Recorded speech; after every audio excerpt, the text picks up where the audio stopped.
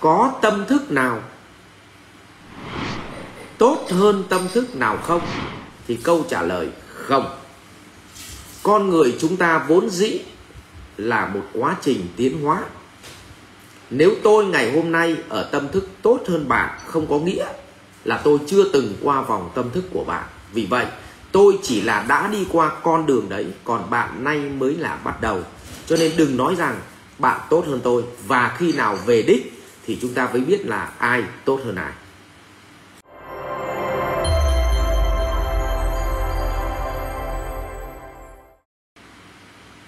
à, Nguyễn Thanh có đặt câu hỏi à, chúc thầy buổi tối vui vẻ và trao nhiều giá trị cho mọi người trong buổi tối ngày hôm nay ạ. À. Mặc dù tháng 5 được gặp thầy tại Nhật, nhưng em xin phép hỏi thầy trước một câu ạ. À. Biểu hiện của tâm thức tốt có phải là thông qua biểu hiện ra bên ngoài phải không thầy? Và làm sao để biết được một người có tâm thức tốt ạ? À? à, em xin cảm ơn thầy. Vâng ạ. Thứ nhất là Tuấn nói về à, sáu cái tâm thức, cái khái niệm sáu cái tâm thức. À, cái này nhắc lại, nói đi nói lại rất nhiều rồi nhưng nhắc lại để cả nhà hình dung ra. À, vòng tâm thức à, số 1 mà Tuấn nói là vòng vật chất. Tức là mỗi chúng ta sinh ra và lớn lên, nếu tâm thức của mình coi tiền bạc sở hữu cho chính mình là việc quan trọng nhất thì dẫn tới mọi hành vi tạo tác trong đời sống của mình. Mình chỉ làm thế nào để mình huân tập được nhiều tài sản vật chất nhất? Và mình cũng nhìn rằng ai là người có nhiều vật chất thì đó là người cao quý vì mình coi vật chất chính là thước đo sự cao quý, cho nên mình đi huân tập vật chất. Thì người ở vòng vật chất thì họ chỉ thích gì ạ? Huân tập vật chất mà thôi. Nhiều đất đai, nhiều đồn điền, nhiều tiền bạc, nhiều vàng, nhiều đá quý, nhiều kim cương và họ kiếm tiền bất chấp. Mà ngày nay rất nhiều quan chức và các doanh nghiệp đi tù bởi họ quá yêu tiền hai, vòng thứ hai là vòng cảm xúc. Tâm thức cảm xúc. Tức là tâm thức thức cảm xúc thì họ làm mọi thứ để người khác tôn vinh mình, để người khác phải tôn vinh mình. Tôi lấy ví dụ, người ta nghĩ rằng mặc hàng hiệu thì người khác sẽ tôn trọng mình hơn. Người ta nghĩ rằng là mình phải đi một cái xe luxury thì người khác sẽ phục mình hơn. Người ta nghĩ rằng trong một cuộc họp thì tôi phải được giới thiệu và phát biểu thì tôi mới là người cao quý. Trong một cuộc nói chuyện tôi phải ngồi trở thành chủ trì trong cái cuộc nói chuyện đó. À, hay thậm chí trong một bữa ăn tôi phải ngồi ở đầu bàn. Ừ, thì tôi mới là người cao quý. Tức là đối với họ mọi hành vi họ cần sự tôn trọng và họ phải là số 1 nếu họ không là số 1 thì không ai là số 1 cả. Vì vậy, họ chỉ có một khao khát cuối cùng cả cuộc đời này là mọi thứ, cũng chỉ để cho người khác tôn vinh và họ liên tục phải giữ mặt, giữ mũi với tất cả những người xung quanh và bắt buộc họ phải gồng lên để chứng tỏ ta không phải dạng vừa đâu. Mặc dù bên trong sâu thẳm của lòng mình là một cõi lòng tan nát, nhưng họ vẫn tỏ ra ta không phải dạng vừa đâu. Đây là mẫu người cảm xúc mà dân ta hay dùng một từ rất bình dân gọi là bệnh sĩ chết trước bệnh tim. Đấy. Thế thì nhóm thứ ba nhóm tâm thức thứ ba là nhóm tâm thức của vòng sinh mạng. Tức là đối với họ thì uh, việc mà được an toàn cho sinh mạng này và nhận được sự bình an là số 1 cho nên đối với họ họ ăn uống họ cũng quan tâm nguồn gốc xuất xứ ăn có cân bằng không. À, còn cái anh cảm xúc thì ăn có ngon không? Còn đến cái vòng sinh mạng là ăn như vậy thì có sinh ra bệnh tật không? Ăn như vậy có thuốc sâu không? Ăn như vậy có hệ lụy gì không? Bắt đầu họ gì ạ? À, tập trung vào ăn uống tập trung vào tập thể dục tập trung vào yoga à, tập trung vào thiền định à, tập trung vào ăn chay và tập trung vào uống các loại thực phẩm chức năng để cho cân bằng. Thì cái nhóm này là nhóm gì ạ? Sinh mạng. Nhóm thứ tư là nhóm trí tuệ. Nhóm trí tuệ này thì là nhóm rất thích khát vọng để khám phá một cái mới. Tôi lấy ví dụ họ bỏ tiền đi nước ngoài không phải để chụp ảnh cho oai mà họ đi nước ngoài để họ cố gắng nghiên cứu và học hỏi một cái mô hình nào đó. À, họ đi gặp một thiền sư để họ tìm ra một cái quy luật đời sống nào đó. Họ đi gặp một cái người như một nhà sư hay là một nhà gì ạ, một nhà hiền triết để họ đi tìm một cái quy luật nào đó. Họ cần tìm một trả lời, một cái một cái câu hỏi nào đó mà họ chưa thể nào mà họ lý giải được. Ví dụ ờ, đức phật, cả cuộc đời đức phật chỉ đi tìm câu hỏi thứ nhất, đó là sự sống sau cái chết. Và sau khi đức phật phát hiện ra chết thì có luân hồi, thì đức phật đặt câu hỏi thứ hai làm sao mà hết luân hồi sinh tử? Thì hai câu hỏi lớn nhất mà cả cuộc đời đức phật đi tìm. Và ngài tìm thấy, cho nên ngài chứng ngộ. Vậy thì người trí tuệ là người đi tìm trả lời các câu hỏi thuộc về quy luật. Tiếp. Ở tầng thứ năm, là người có tâm thức ở vòng nghiệp lực. Tức là đối với họ, việc trao đi giá trị cho người khác mỗi ngày, nó chính là hạnh phúc của bản thân ở đây trao đi, mọi người đang nghĩ là trao đi vật chất. Nhưng không phải. Mỗi một ngày, nếu tôi gặp ai đó gần chết đói, tôi cho họ bát gạo, thì cái đó gọi là nghiệp lực ở vật chất. Nếu một ngày mà tôi gặp người nào đó ngạo mạn, mà tôi không phải tranh cãi về sự ngạo mạn với họ, và tôi cười, tôn trọng họ, tức là cho họ ăn đúng vòng thức ăn của họ, thì như vậy cũng là nghiệp lực rồi. Mỗi một ngày mà tôi gặp một người ở vòng sinh mạng, họ cần sự yên tĩnh, họ cần sự nói năng nhẹ nhàng, tôi có cái đó cho họ, thì đó cũng là nghiệp lực rồi. Một người ở vòng trí tuệ, nếu như họ khao khát trí tuệ mà tôi có, tôi chia sẻ với họ để cho họ cùng đồng hiểu với tôi, thì đó cũng là bố thí rồi, đó cũng là nghiệp lực rồi. Hay là tôi có thói quen đi làm bố thí à, thì à, nghiệp lực thì tôi rủ anh em bạn bè cùng có thói quen này thì đó cũng là cách làm nghiệp lực rồi. Còn cái tầng thứ sáu là cái tầng đỉnh cao nhất trong các tầng. Thì cái tầng thứ sáu này được gọi là tầng tâm không có nghĩa là đạt đến đỉnh cao tận cùng của tư tưởng là không còn tư tưởng. Tôi lấy ví dụ thế này. Chúng ta đến từ một khái niệm gọi là khái niệm giá trị. Thì thưa các ngài, không có khái niệm giá trị.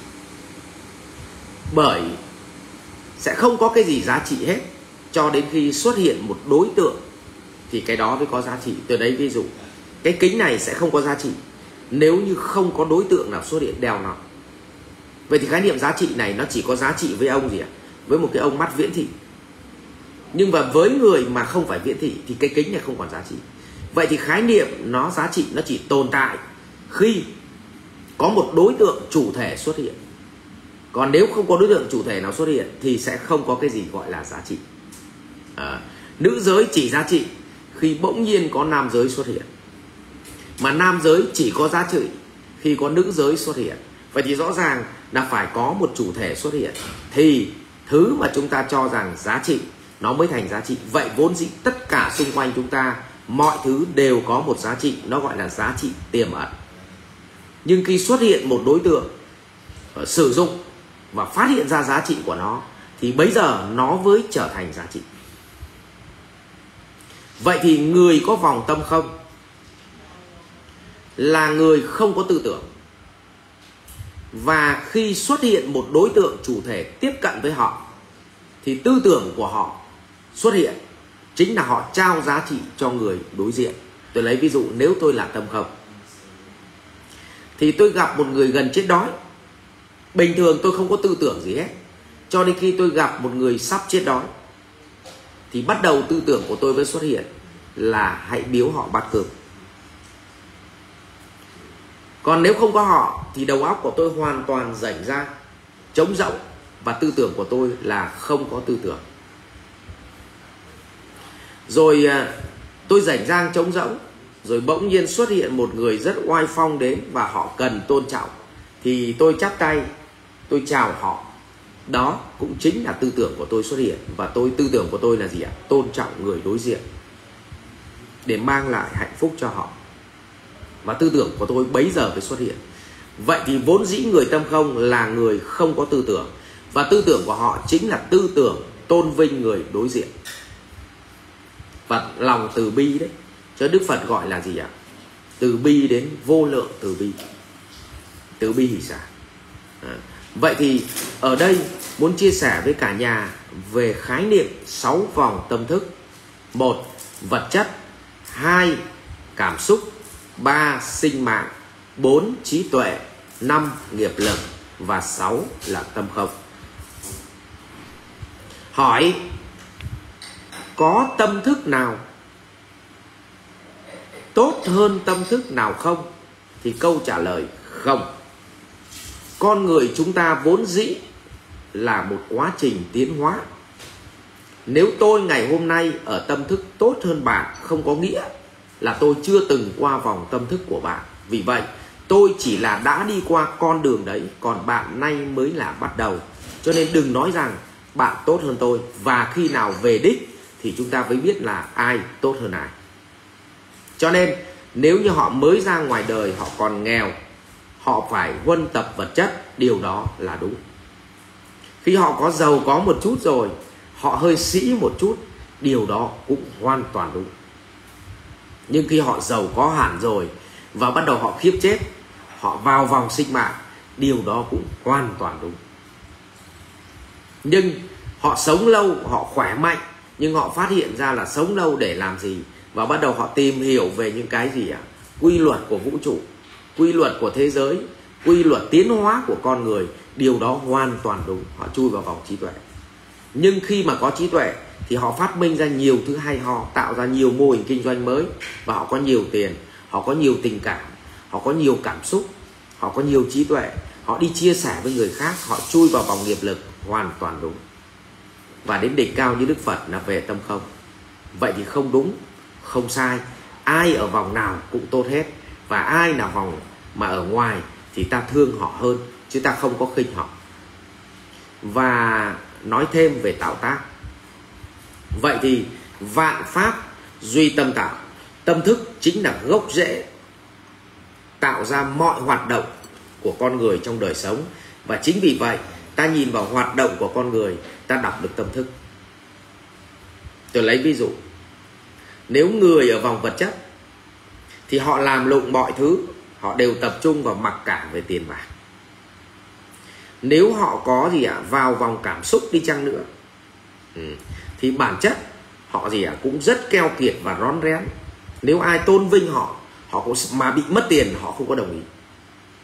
Hãy để im tiền đấy cho ta tao không cần oai quan trọng là tiền này. à, nhưng mà nếu họ vào được cái vòng gì ạ? Nếu mà vòng vật chất mà họ đi à, họ có đi dạy vòng sinh mạng đi chăng nữa họ hoặc là đi tập thể dục đi chăng nữa thì cuối cùng có đi tập thể dục cũng chỉ là tìm đồng đội tìm cộng đồng rồi cuối cùng cũng chỉ để kinh doanh lại sinh ra tiền. Tức là họ vào những cái môi trường đấy là chủ yếu trà trộn vào đấy để tạo các mối quan hệ kiếm tiền mà thôi. Chứ cũng không phải là họ vòng sinh mạng có thể vẫn đi chạy bộ nhá, vẫn Iron Man nhá. Nào nhưng mà mình tưởng họ là vòng sinh mạng, nhưng thực ra không phải. Họ vào đấy họ tìm, hiểu, tìm các mối quan hệ, tìm một cách để kiếm tiền ở cái nơi đó. Ừ. Hay là họ vào một cái nơi cảm xúc, họ đi mua hàng hiệu, họ trà trộn vào những cái chuyến du lịch à, luxury. Ờ, thì thực ra họ không phải cảm nhận cái chuyến du lịch đó mà họ đi để gì ạ?